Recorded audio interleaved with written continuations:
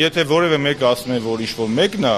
ոչ թե ում նկատմամբ որ ասում են նա պետք է արդարանա, այլ Ալեն Սեմոնյանը պետք է գնա դատախազությունում կամ հատուկ քննչական ծառայությունում ցուցմունք տա եւ փաստեր ներկայացնի։ Եթե ինքը փաստեր չի ներկայացնում, ուրեմն ինքը դավադրություն է անում։ Հիմա եթե ես քեզ ասում եմ դու գող ես, հազար ներողություն էլի Մհեր ջան, մենք ընկերներ դրամայի մասում։ Եթե լավ, եթե դու ինձ ասում ես ես գող եմ, տենց ասենք, ոչ թե ես պետք է արդարանամ, դու պետք է ապացուցես։ Հիմա եթե պարոն Ալեն Սիմոնյանը ասում է, որ ինչ որ X մարդն է կամ X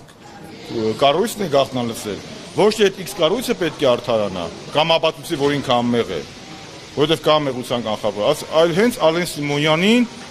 Հիմա խորհուրդ եմ տալի եւ կոչ եմ անում, որպես ազգային ժողովի փոխնախագահ, ազգային ժողովի падգամավորին, եթե ունի փաստեր, հենց հիմա այս պահին առանց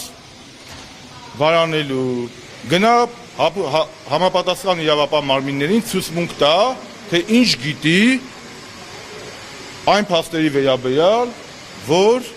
ով է գաղտնալսել։ Եվ նա պարտադիր է դա պարտավոր է դա անել։ Եթե նա չի անում, ուրեմն բնականաբար այստեղ մենք գործ ունենք քաղաքական մանիպուլյացիայի, պոպուլիզմի եւ դեմագոգիայի հետ։